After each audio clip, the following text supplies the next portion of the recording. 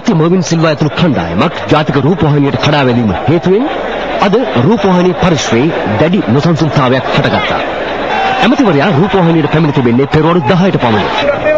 ඊයේ මාත්‍ර මහනාම පාලම විවෘත කරන අවස්ථාවේ පැවති රැස්වීමේදී සමන් කළ කතාව රූපවාහිනී ප්‍රවෘත්ති ප්‍රකාශය මගින් විකාශය නොකිරීම සම්බන්ධයෙන් ඇමතිවරයා ප්‍රවෘත්ති අධ්‍යක්ෂ ටී.එම්.ඩී. චන්ද්‍රසේකර මහතාට තර්ජනය කර තිබෙනවා. එහිදී ඇමතිවරයාගේ ආධාරකරුවෙකු චන්ද්‍රසේකර මහතාට පහර දීමක්ද සිදු කර තිබෙනවා. අනතුරුව මර්වින් සිල්වා අමාත්‍යවරයා විසින් චන්ද්‍රසේකර මහතා රූපවාහිනී සභාපතිවරයාගේ කාර්යාලය වෙත ඇදගෙන ගිය බවයි සේවකයන් පවසන්නේ. සිද්ධියත් සමග සංස්ථා සේවකයන් ඇමතිවරයා ඇතුළු කණ්ඩායමට සභාපතිවරයාගේ කාර්යාලයෙන් පිටව යාමට නොදී දැඩි විරෝධතාවක නිරත වුණා. පැය තුනකට අධික කාලයක් මෙලෙස විරෝධතාවයේ නිරත වූ සේවකයන් ඉල්ලා සිටියේ අදාළ සිද්ධිය සම්බන්ධයෙන් අමාත්‍යවරයා සහ ඔහුගේ ආධාරකරුවන් සමාව ගත යුතු බවයි.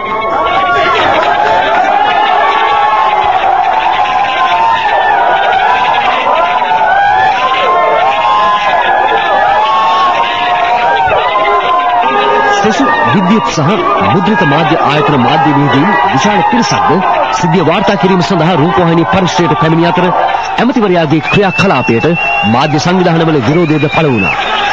උද්ගත වූ තත්ත්වය පාලනය කිරීම සඳහා පොලිසිය සහ හමුදාව දැඩි උත්සාහයක නිරත වුණා.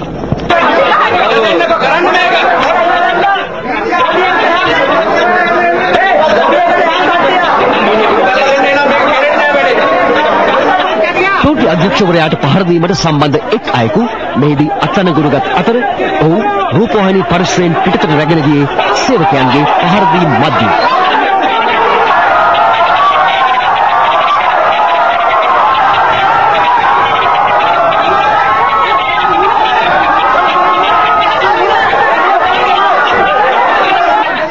අනතුරුව අමාත්‍යවරයා රූපවාහිනී පරිශ්‍රයෙන් පිටතට රැගෙන යාමටද ආරක්ෂකයන්ට මහත් ආයාසයක් ගැනීමට සිදු වුණා.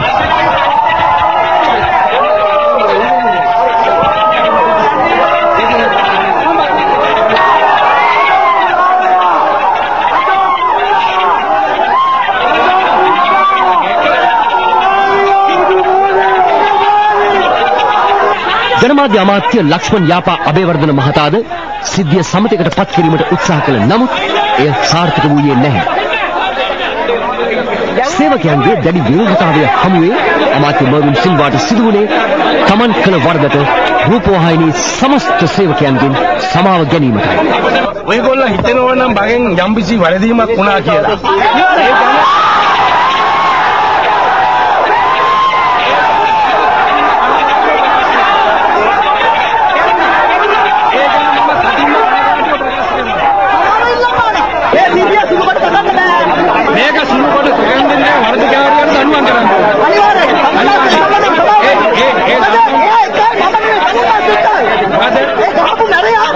නෑ ගැහුවේ නැහැ කියලා කිව්වේ ඒගොල්ලෝ.